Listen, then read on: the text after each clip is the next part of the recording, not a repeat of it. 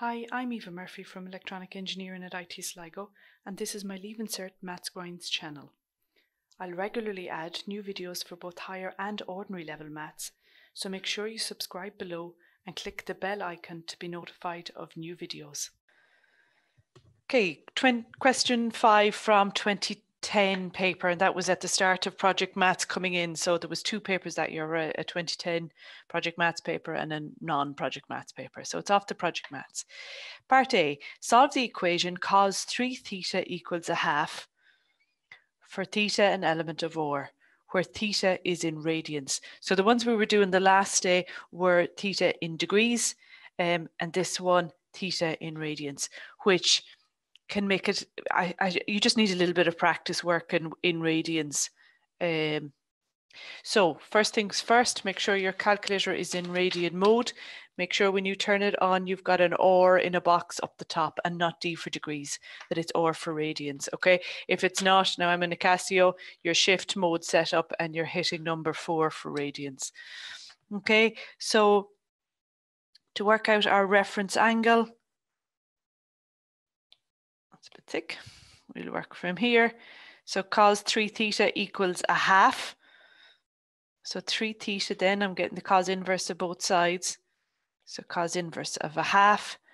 When you get cos inverse of a half and your calculator's in radian mode, it will automatically go to a third pi. Okay, so 3 theta equals a third pi. Okay, and that's what we call our reference angle. Okay, a third pi, if your calculator is in degree mode, a pi is the same as 180 degrees. If you remember when we did it um, the last night, this is zero, this is pi, which is 180 degrees. Um, so you'd get 60 degrees for this. Okay, you are better off doing it like this when they specify that theta is in radians. Okay, so just like before, we need to uh, do our cast circle. C-A-S-T. Okay, um, and we're looking for what qu quadrants is cos positive uh, because the value we have here is, is positive a half. So where is cos positive? Well, it's positive here and it's positive here, okay? So cos is positive in those two circles. So these are the two circles where um, we will get a value of a half when we get cos 3 theta. Okay, so when you're in the first quadrant, um, remember it's always with respect to the horizontal axis.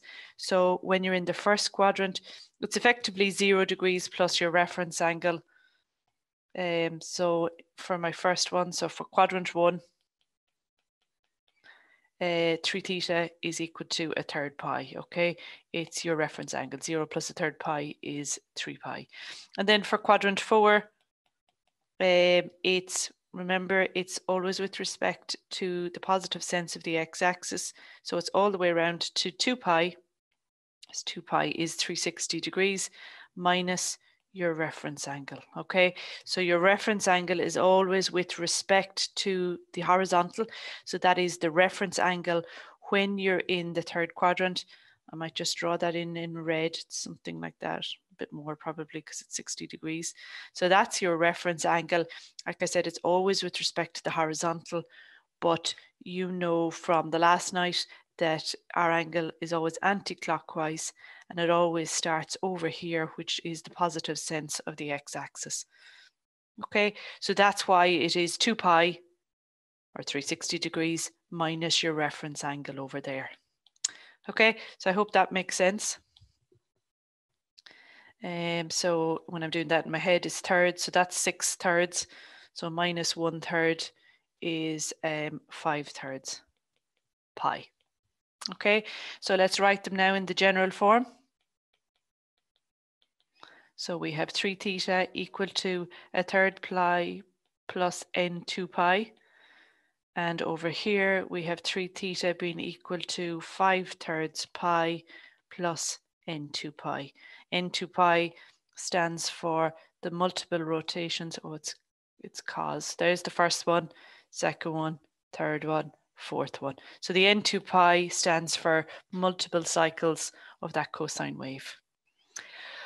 Okay, um, you're, yeah, let's divide across by three because we have to solve for, for theta. Okay, so divide across by three and we get theta being equal to a third divided by three is a ninth and n two thirds pi. And here theta is equal to five over nine pi plus n two thirds pi. Okay, and you can always do it on your calculator, a third divided by three, two pi divided by three. Okay, um, so in fact, the way this question is written, because it's every single um, possible solution, so it's an endless number of cycles. Okay, it, it, it makes this question a little bit different from each other. You have to do it for all possible um, number of cycles. Okay, so in fact, this then becomes your actual answer. Okay, now remember what we normally do? We normally do n is equal to zero, so we'd get theta being equal to um, a ninth pi and theta being equal to five ninths pi. Nothing wrong with doing that. n is equal to one would be a ninth pi plus um, n becomes one here, so I'm adding on two thirds pi and I'll get 7 ninths pi. And over here, I'll get 5 ninths pi plus 2 third pi again.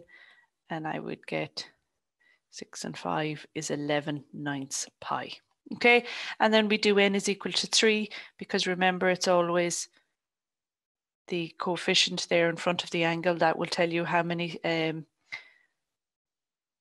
how many waves there are Okay, so theta then would be equal to a ninth pi plus twice two thirds pi. So what am I doing here? I'm subbing in not three, it is the third one, but not three. n is equal to 2. So I'm subbing in 2 for n. And I get for that one 13 over 9 pi theta is equal to 5 ninths pi plus twice 2 thirds pi. I'm doing it out like this because a lot of people would naturally do it like this because it's a, a cos 3 theta, okay? Because in majority of questions, it would give you a domain of 0 to 2 pi, okay? So these would be the six angles that are between 0 to 2 pi, okay? So the only thing I would do then is go down until n is equal to n, and then you'll get, in fact, what's written here in the box, okay? So you're just showing that it will be that you're going to sub in whatever your n is, you're going to sub it in here and add it on. Okay, and over this side, we will get n 2 thirds pi. Okay, so that was that first part of that question um, from 2010. Okay, let's have a look at, at part B. So the last night we did some theories on, on how to recognize each of the waves. Okay, now first thing I see is they're all cosine waves and that's because they're not starting down here at zero. So sine waves start like this. They'll be out of phase, so they'll be shifted, in other words, from these ones by 90 degrees, but they'd start here at zero, whereas cosine waves start at um, one for a, a cosine wave. Okay, so all cosine waves, okay. Now, if we remember the theory that we did the last day, um, do you remember we wrote the general form of, um, of a wave? Um, and there was a formula that I used, which was A plus uh, B cos Cx. Okay, so this was an offset. This one here was the amplitude. And this one here is the number of cycles in a 360 degree or 2 pi if you're in radians window. Okay, so first things first, I'm going to deal with A. Okay, so if you can see, do you see the dark line there, which is the zero line? All of these um, cosine waves are symmetrical about zero, okay? Which means that my zero in this case is, is sorry, my A in this case is zero. So, so that doesn't exist in this one. So I'm, I'm just going to delete it out then. That's why I have no A in this one. It is zero. So I'm left then with B cos CX, okay? And, what you're doing or how you answer this question is you compare that with each of the waves you're given. Okay, so B is the amplitude. So the amplitude for that first one is one. Okay, the amplitude for this one is two. The amplitude for this one is three. Okay, so therefore you can already say that that must be cos 3x. This one must be 2 cos 3x, and this one must be 3 cos 3x. Straight away, we can tell it just from the amplitude because it's three different amplitudes, three different waves. Okay, so just to complete out the question, I, I know we've now established which one's which, but how, how do we resolve C? So how do we know what C means? Well, when I see the 3x and the 3x here, that means I'd prefer, uh, sorry, I, I would expect to see three waves within this window, okay? Which I'm presuming is a 360 degree window. So let's have a look at cos 3x. So it's this, this one with an amplitude of one. So there's one cycle. There's two cycles. And there's the third cycle. Okay, so that's why that's a 1 cos 3x wave. The amplitude of 2 also has 3 one, two, and three. Okay, now pay, pay close attention to this because you could be asked to draw these waves. You could be asked to draw a sine wave or, a, or generally a cosine wave, not so much a tan. Okay, so when I compare this one and this one, can you see the peaks occurs at the exact same point on the x-axis and the troughs, which is the, the most negative part, occurs at the exact same point on the x-axis? And these what we call zero crossings occurs at the exact same points. And that's exactly what you'd expect for a cos 3x wave. Okay so the only difference is the size of the wave the amplitude of the wave let's have a look then at 3 cos 2x so there's only two cycles of this in the window there's one and there's the second one. Okay, so these don't have the exact same crossings because there's one less cycle of that one in the same window. Okay, so we would say the, the 3x is a higher frequency wave. Okay, it's faster, in other words, and this would be a lower frequency wave. Okay, so let's try and label them now. So let me see, what's that first one? looks like the bottom one, doesn't it? So hx. So hx is cos 3x. Okay, the fully dark one is f of x, which is the big one, um, fx. So 3 cos 2x. And gx then is the, the smaller dashed line. Okay, so we've identified which function is which and written our answers in the spaces below.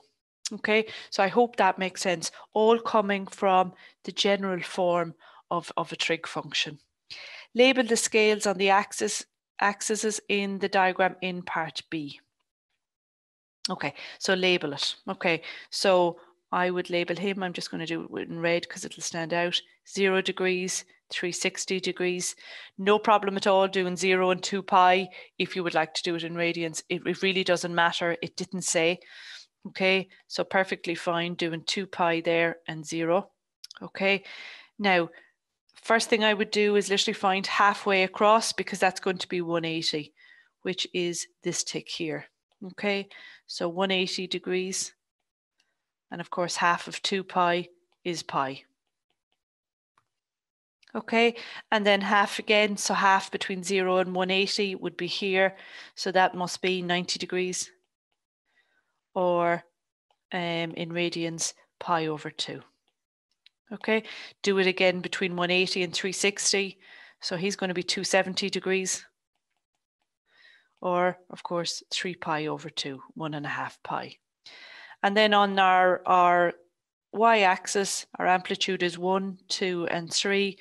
And of course, minus 1, minus 2, minus 3. Okay, so that, um, again, not that you were asked, but um, the period of this waveform is um, 360 degrees over C, okay? Which in our case is 360 degrees over 3, so it's 120 degrees. So what is the period of a waveform? It's um, the length it takes to do one complete cycle, okay? So um, any one of these ones. So there's 90 degrees. And can you see there, there's your 120 degrees. So one full cycle is 120 degrees. So I hope that makes sense. Whereas the bigger one, it took a full 180 degrees you see that to complete one cycle?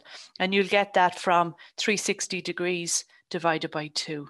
Or, of course, if you're working in radians, 2 pi divided by 2, so pi. Okay, so 180 degrees or pi for the period of that one.